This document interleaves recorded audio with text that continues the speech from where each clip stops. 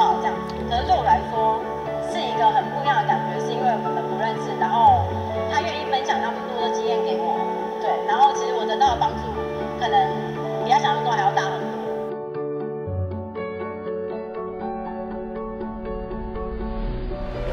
我十五岁就没有爸爸了，所以我一路走来，也都是有很多的前辈帮我，所以呢，我也很愿意帮别人。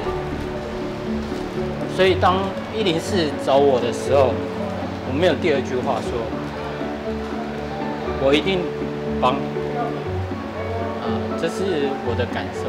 我看完这段影片，我觉得没想到我们给人家的帮助是这么的大。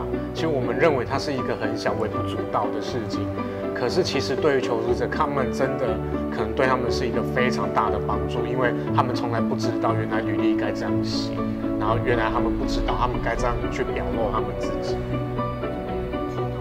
嗯，跟原本想的觉得，嗯，好像我们做这件事情好像更有价值了一点。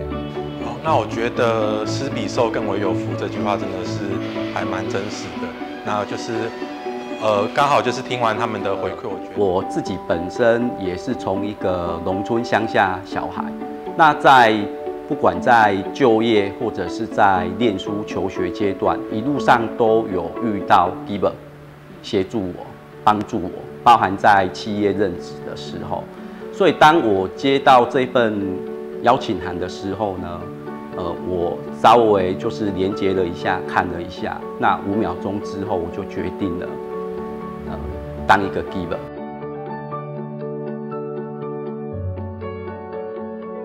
HR 也获得帮忙啊，因为对 HR 最大的好处是，当求职者在这个部分都能够做得好的话，我们在做招募的履历筛选一定会更快速。我觉得这是一个互相帮忙的过程。那当时受到教练很多帮助之外，也学到非常多履历见证这样的一个技巧。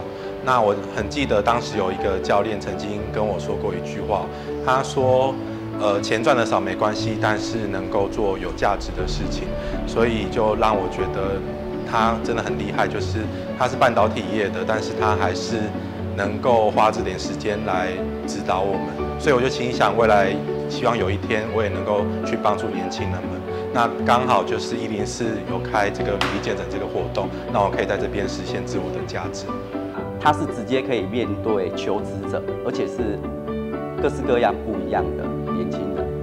对我觉得对我来讲，这是一个我蛮开心的一个事情。那我们怎么样的去让这一个社会是变得更好？